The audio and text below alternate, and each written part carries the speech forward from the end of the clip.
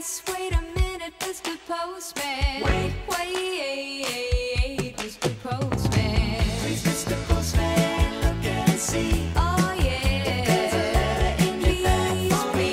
Please, Mr. Postman. Why's it taking such a long time? Oh, yeah. Only to hear from that boy of mine.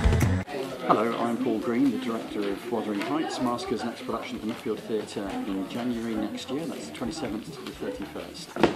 Um, this is a really dark, gothic uh, version of the, an adaptation of the book. The book um, probably one of the most famous love stories of all time. There's uh, also a major revenge story in there as well.